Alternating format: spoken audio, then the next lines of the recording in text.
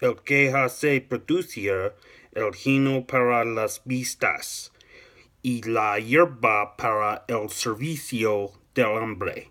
Sacanado el pan de la tierra. 104 Salmos, C14.